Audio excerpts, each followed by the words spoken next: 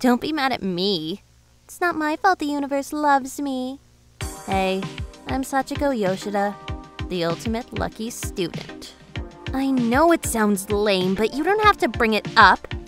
It's actually kind of fun seeing you all lose your shit. I'm tired of your nonsense. Later, losers.